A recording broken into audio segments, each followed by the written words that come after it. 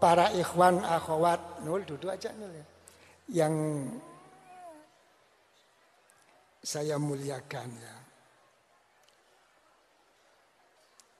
Di sini Rasulullah ya, dalam membimbing pertama itu mengatakan Rabbi zidni ilma. Ya Allah tolong berilah makin bertambah ilmu saya satu. Ya. Sesudah ilmu banyak, kita menghadapi satu hidup dan kehidupan. Berarti kita ingin hidup. Untuk bisa hidup, kehidupan kita harus baik, mudah, lapang, lancar. Maka dituntun oleh Rasulullah, wa wasi'li fi rizki. Ya, lapangkan di dalam rezeki saya. Cukup, tidak cukup. Minta berkah. Wa barikli ma rozaqtani. Berilah berkah. Dengan apa-apa yang telah engkau berikan kepada saya ya Allah. Kunci berkah. Ini ngaji lagi nih bulan. Bayar, bayar, bayar. Itu, untuk hall, untuk saya belum. Ya. Kunci daripada berkah. Ya. Sesudah di dalam pengertian tadi ya Allah ya Godim. Ada kekuatan pada saat kita memenuhi keinginan kita. Pada saat kita ingin memilih apa yang menjadi kesenangan kita? Apa itu busana, makanan, apa pun, apa pun. Kuncinya adalah untuk mengetahui mana yang bermanfaat, mana yang tidak bermanfaat. Sudah dihitung? Sudah. Ngitung tok. Narik-narik ngitung tahu jumlahnya nggak dapat persentase. Ini namanya nopo kiai apes.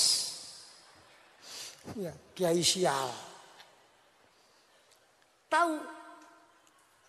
Dalam memilih itu tahu mana yang bermanfaat, mana yang saya butuhkan. Bukan pokok tinggal membeli, banyak. Coba lihat, begitu membeli, menggepu-gepu, Sampai di rumah dibiarkan. Ya, nanti sesudah dipakai dua kali, tiga kali, sudah merasa tidak mempunyai baju lagi. Dan tidak akan dipilih. Ya, apalagi mau pergi ke manten. Semua satu lemari dikeluarkan semua. Seakan-akan tidak punya baju. Apalagi perempuan. Bucuk-bucuk. Ya, enggak. Siapa yang tahu itu lama itu baru nggak ada yang tahu kok. Tapi memang hatinya terdinding oleh Allah. Dia lupa memegang uang banyak sudah dilupakan oleh Allah. Beli pokoknya mampu. Sudah rezeki Allah itu sudah dianggap tidak ada artinya. Beli ini, beli ini, makanan ini, makanan. sampai di rumah nggak dipakai. Itu menunjukkan tidak mendapat berkah tidak dinaungi dan dilindungi oleh Allah. Pilih mana yang bermanfaat, mana yang saya butuhkan, mana yang baik. Ini. Kalau sudah mencukup rezekinya jadi orang kaya, cukup tidak ditonton dibimbing oleh Rasulullah. Waj'alni mahbuban fi qulubi ibadik. Jadikan saya ya Allah dicintai, disenangi. Di dalam hati-hati mereka-mereka ini kaya, cukup, hidup semuanya. Coba lihat dalam perumahan-perumahan kaya ini. Hmm? Hidup sendiri-sendiri. Sudah habis semua berkah itu. Tidak tahu, tidak kenal sama tetangganya. Kadang-kadang ada kemanten pun tidak diundang. Mati pun tidak tahu. Coba kalau ditanyakan, mana yang dinamakan tetangga yang disebut oleh Rasulullah? Mana? Tidak kenal, tidak tahu, apalagi saling mengerti. Habis. Coba perumahan-perumahan kampung.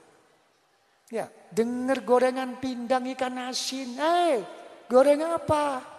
Ikan asin. Mau ya? Nih. Loh. Minta apa? Saya kehabisan lombok, kehabisan gula. Ada pahala-pahala ikhlas. Seperti itu, itu. Justru itu besok yang menjadikan masuk surga. Gak terasa. Di perumahan habis. Kamu tidak perasa. Hmm? Wanang kusuha min atrofiha. Diambil dalam setiap sudut oleh Allah makin berkurang. Itu ya. Jangan merasa senang. Tapi tanya sekarang sama perumahan-perumahan itu. Tanya. Begitu pandai dan hebatnya bikin perumahan mewah-mewah. Hebat-hebat. Tapi kenapa makam kuburan dia nggak bikin? Hmm? Kebanyakan kuburan malah dikubur ke kuburan umum, kuburannya orang desa. Hmm? Diantar dari rumah sakit ke rumahnya sebentar baru diangkat. Tetangga nggak tahu. Waj'alni mahbuban fi qulubi ibadik. Ya, wa azizan fi uyunihim Bukan sekadar saya ini jadi perhatian mereka ya Allah. Tapi jadikan saya ya Allah mulia. Dan menjadi orang yang lain daripada yang lain di pandangan mereka. Didudukkan. Kamu sebagai orang yang sukses. Didudukkan sebagai orang yang sukses. Yang dicintai. Yang dipandang. Kamu jadi kiai. Didudukkan sebagai kiai. Dan disepuhkan jadi kiai. Ayo, wa azizan fi uyunihim. Dudukkan. Hmm? Di sini baru kita berbicara bagaimana syukurnya orang yang sukses yang kaya. Bagaimana syukurnya orang alim. Bagaimana syukurnya orang yang makrifat. Bagaimana syukurnya orang yang dekat sama Allah. Semua ada cara sendiri-sendiri. Ingin tahu, bayar. Pengajian berikutnya. Biasa. Nonton film kalau lagi rame-ramenya bersambung. Ya kan ya? Gitu. Rugi sponsor. Sudah. Wa azizan fi uyunihim. Saya ngomong begini, ini saya dudukkan. Kamu kaya gimana? Terhormat. Kamu sebagai orang imam khususi kiai, bagaimana? Monggo yang bisa. Jangan kena penyakit hubbut taqaddum wajah. Habis. Ya. Lah kalau kamu sudah semua ini seperti ini, apa yang diminta?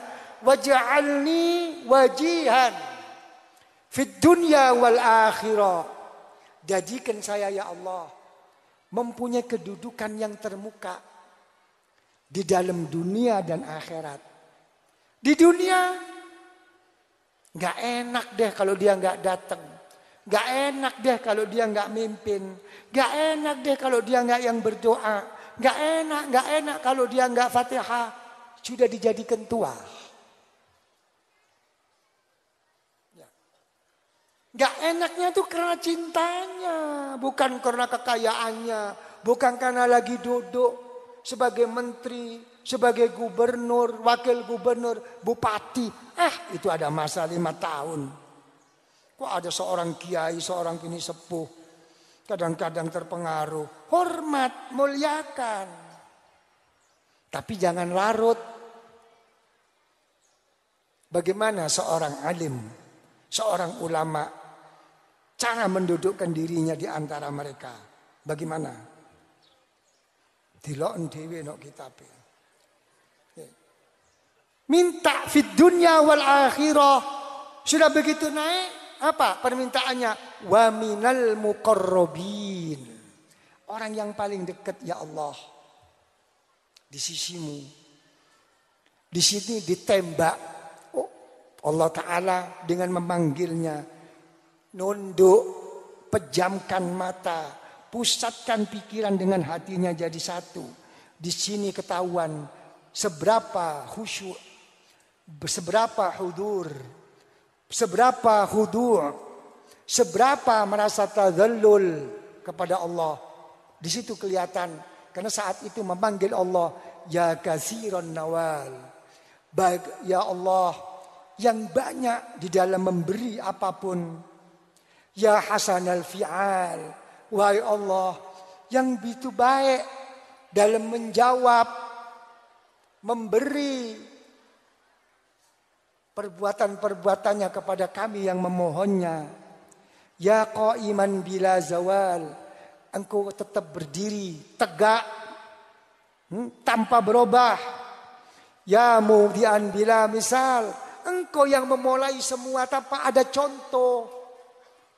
Ya, Kenapa kok nama-nama ini kok disebut? Ya, dikembalikan. Itulah engkau ya Allah. Ya, dan engkau begitu kuat ya Allah, begitu kuat. Tanpa goyah apa pun. Dan kamu, engkau ya Allah sebagai pemula pencipta. Saya adalah ciptaanmu ya Allah. Ciptamu sekarang tuh lagi keadaan begini. Dengar, lihat. Ya, berilah saya ya Allah. Makanya banyak saya lihat. Ya. Kebanyakan meriku apa? Makom doa. Yang sebetulnya itu harus bil jazmi. Dengan mantap. Memohon kepada Allah. Semoga ya ngomong kita menginginkan begini. Mengharapkan ini. Itu, ini, itu. Insya Allah Insya Allah yang dikatakan. Tidak tepat. Pada saat berdoa, ud'uni astajib lakum bil jazmi. Karena Allah Ta'ala juga bil jazmi di sini. Insya Allah itu di sini, jangan dibawa. Itu mentah lagi. Memohon, memohon. Kita ingin bangsa dan negara ini anu anu. Ya, insya Allah Allah Ta'ala akan mengabulkan lo mentah lagi. Semoga Allah Ta'ala melihat, mendengarnya, mengabulkannya. Lo gitu. Jangan pakai insya Allah. Itu di sini. Lihat. Berbeda pembahasan. Hmm? Imam Zakaria al-Ansari. Syekhul Islam. Rahimahullah. Tentang insya Allah. Lihat dalam syarah Risalatul Kusyairiyah. Bukan tempatnya. Banyak kan begitu kan? Kadang-kadang orang alim gitu. Kita menginginkan ini, ini, itu, ini, ini, anu. Insya Allah. Akan berhasil. Lo mentah lagi. Di sini insya Allah. Oke, okay, you understand? Biasa anak murid, anak pondok. Pengen tak rabi tak kon. Iya. Terus apa? Di sini falakal hamdu. Dikembalikan ke Allah. Segala puji bagimu. Walakal minna. Semua anugerah kepunyaanmu. Walakas syaraf ala kulli hal. Sudahlah. Dalam keadaan apa pun saya ya Allah. Engkau beri, tidak engkau beri. Saya akan duduk di makom syapur atau makom sabar. Walakas syaraf. Kemuliaan kepunyaanmu. Muliakan saya. Di sisi kamu ya Allah. Kalau sudah mulia di sisi kamu. Orang lain akan melihatnya senang. Kalau sudah senang. Tentu akan mengalir. Akan dimudahkan oleh Allah. Karena hubungan enak. Ini kata Rasulullah. Baca tiga kali sesudah sholat. Sampai saya tulis termasuk doa yang nomor dua. Sudah, faham? Ya sudah. Mau apa? Pun, ayo. Berapa jumlahnya? itu berani saya. Siapa yang nggak dapat? Kalau dapat nggak berani.